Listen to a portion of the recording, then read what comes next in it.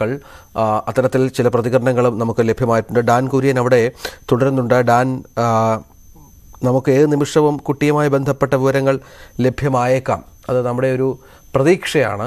അതനുസരിച്ചുള്ള വിവരങ്ങൾ പോലീസ് കൈമാറുന്നില്ല മാധ്യമപ്രവർത്തകർക്ക്. അവർ കുറച്ച് പുറകോട്ടാണ് ഈ വിഷയത്തിൽ നിന്നാണ്. അതിന്റെ ഒരു അതിന്റെ വിഷയം അതിന്റെ അവ്യക്തത നിലനിൽക്കുന്നതുകൊണ്ടാണോ അതോ കൃത്യമായ ചില സൂചനകൾ പോലീസിന് ലഭ്യമായ പശ്ചാത്തലത്തിൽ മാധ്യമങ്ങളോടോ പൊതുജനങ്ങളോടോ തൽക്കാലം വെളിപ്പെടുത്തേണ്ട രഹസ്യാത്മകമായ സ്വഭാവം കാത്തുസൂക്ഷിക്കാനുള്ള ശ്രമമാണോ?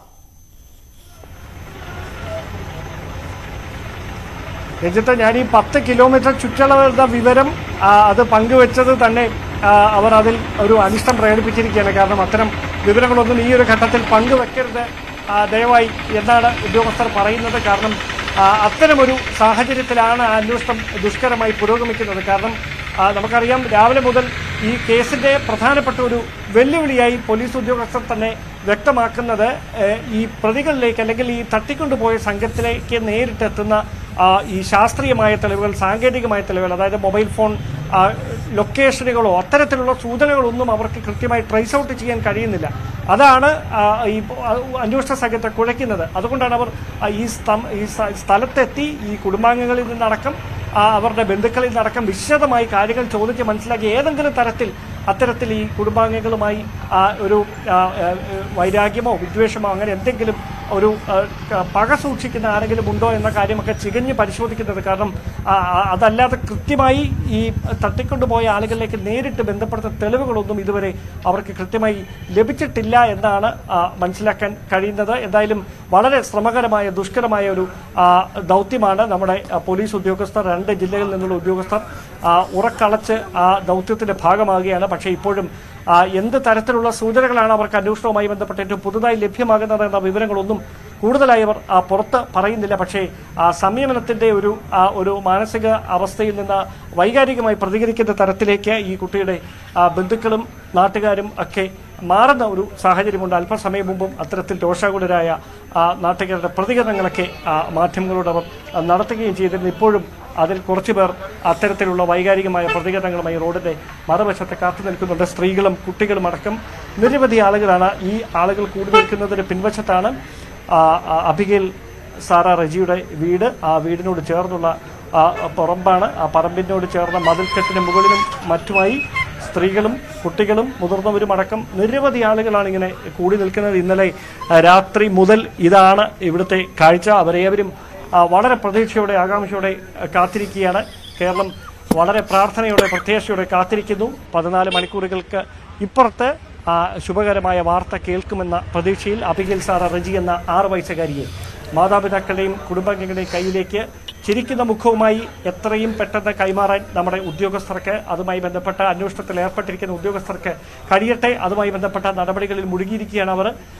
എന്തായാലും ഉച്ചയ്ക്ക് മുമ്പ് എന്തെങ്കിലും തരത്തിലുള്ള സൂചനകൾ ഉദ്യോഗസ്ഥർ നൽകും എന്ന് തന്നെയാണ് നമ്മൾ കരുതുന്നത്. കാരണം അതുകൊണ്ട് തന്നെയാണ് പത്ത് കിലോമീറ്റർ ചുറ്റളവിലേക്ക് പരിശോധന വ്യാപിപ്പിച്ചിരിക്കുന്നു എന്ന് പറയുമ്പോൾ അത് ചില ലീഡുകളുടെ അടിസ്ഥാനത്തിലാണ് അത്തരത്തിലുള്ള സൂചനകൾ അവർ പങ്കുവെക്കുന്നത്. പക്ഷേ കൃത്യമായ വിശദാംശങ്ങൾ കൂടുതലായി ഈ ഒരു ഘട്ടത്തിൽ മാധ്യമങ്ങളോട് പങ്കുവെക്കാൻ അവർ തയ്യാറാകാതിരിക്കുന്നത് അന്വേഷണത്തെ അത് ശ്രമകരമായി ദോഷകരമായി ബാധിക്കുമെന്ന ഒരു സാഹചര്യത്തിലാണ് എന്നാണ് നമുക്ക് മനസ്സിലാക്കാൻ കഴിയുന്നത്. രഞ്ജിത്ത്.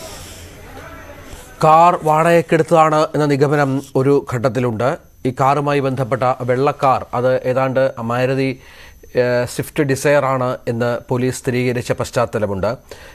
വിത്തിൻ ടെൻ കിലോമീറ്റേഴ്സിന് അകത്ത് ഉള്ള അന്വേഷണം പോലീസിന്റെ ഭാഗത്ത് നടക്കുന്നുണ്ട്. വനമേഖലകളിൽ തിരച്ചിൽ നടക്കുന്നുണ്ട്. ഒപ്പം വർക്കലയിലെ ചില റിസോർട്ടുകൾ കേന്ദ്രീകരിച്ച് പരിശോധനകളുണ്ട്. ഫോൺ രണ്ട് ലക്ഷത്തോളം ഫോൺ കോളുകൾ ഇതിനകം തന്നെ പോലീസ് ആ പരിസരത്തെ അത് പോലീസ് പരിശോധിച്ചു കഴിഞ്ഞു.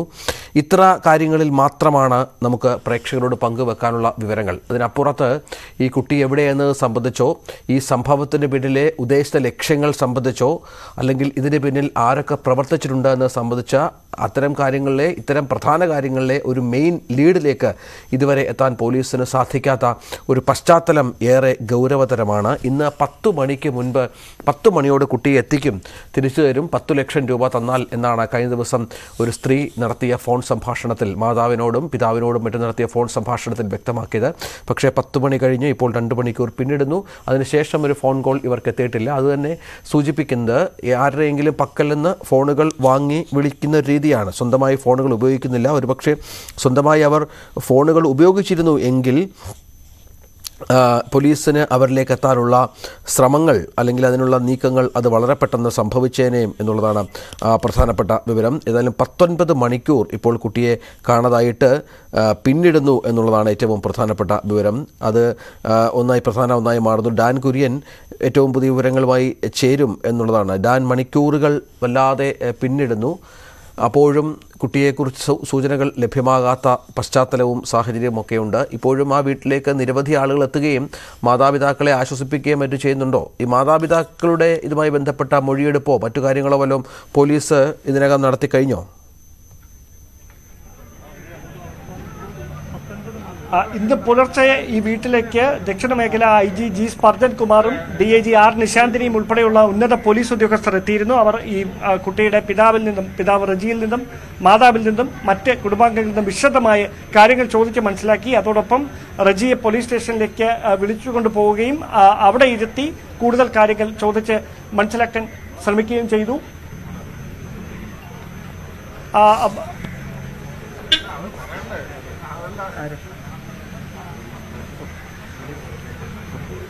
അപ്പോൾ അത്തരത്തിലുള്ള വിവരങ്ങളാണ് പുറത്തു വരുന്നത്. നമുക്ക് ഏറ്റവും ഒടുവിൽ ലഭ്യമാകുന്ന വിവരം ഇതാണ്. കുട്ടിയുടെ പിതാവ് റജിയെ വീണ്ടും പോലീസ് സ്റ്റേഷനിലേക്ക് കൊണ്ടുപോയിരിക്കുന്നു എന്ന സൂചനയാണ് പുറത്തു വരുന്നത്. പോലീസ് ഉദ്യോഗസ്ഥരുടെ നേതൃത്വത്തിൽ റജിയെ കുട്ടിയുടെ പിതാവ് റജിയെ വീണ്ടും പോലീസ് സ്റ്റേഷനിലേക്ക് കൂടുതൽ കാര്യങ്ങൾ ചോദിച്ച് അറിയുന്നതിന് വേണ്ടി ഉന്നത ഉദ്യോഗസ്ഥർ അവിടെ ക്യാമ്പ് ചെയ്യുന്നുണ്ട്. അവരുടെ നേതൃത്വത്തിൽ ചോദ്യാവലി തയ്യാറാക്കിയാണ് ഈ- കാര്യങ്ങളെക്കുറിച്ച് വിശദമായ പരിശോധന നടക്കുന്നത്. അവിടെയാണ് ഏറ്റവും ഒടുവിലത്തെ വിവരം ലഭ്യമാകുന്നത്. കുട്ടിയുടെ പിതാവ് റജിയെ കൂടുതൽ കാര്യങ്ങൾ ചോദിച്ചറിയുന്നതിന് വേണ്ടി വീണ്ടും പോലീസ് സംഘം എത്തി ആ, സ്റ്റേഷനിലേക്ക് കൊണ്ടുപോയിരിക്കുന്നു എന്ന ഏറ്റവും പ്രധാനപ്പെട്ട വിവരമാണ് ഇപ്പോൾ പുറത്തു വരുന്നത് കുട്ടിയുടെ പിതാവിനെ പോലീസ് മൊഴിയെടുക്കാനായി കുറച്ചുകൂടെ കാര്യങ്ങൾ ചോദിച്ച് മനസ്സിലാക്കാനായി സ്റ്റേഷനിലേക്ക് കൊണ്ടുപോയിട്ടുണ്ട് റജിയെ. റജിയും ഭാര്യയും കുട്ടിയുടെ മാതാവും പിതാവും അവിടുത്തെ കൊല്ലത്തെ സ്വകാര്യ ആശുപത്രികളിലെ ആശുപത്രിയിലെ നഴ്സുമാരാണ്. അപ്പോൾ ഈ വിഷയത്തിൽ ഇവർക്ക് ഈ കുടുംബപരമായ എന്തെങ്കിലും തരത്തിലുള്ള പ്രശ്നങ്ങളോ ആരെങ്കിലും ഇവരോട് വൈരാഗ്യമുള്ള ആളുകളോ സാമ്പത്തിക ഇടപാടുകളോ അങ്ങനെ എന്തെങ്കിലും ഉണ്ടോ എന്ന കാര്യത്തിലും പോലീസിന് സ്വാഭാവികമായും അന്വേഷണം നടത്തേണ്ടി വരും. അതിനായാണ് ഇപ്പോൾ കഴിഞ്ഞ ദിവസം രാത്രി റജിയോട് കാര്യങ്ങൾ ചോദിച്ച് മനസ്സിലാക്കിയിരുന്നു. ഇപ്പോൾ അല്പം കൂടി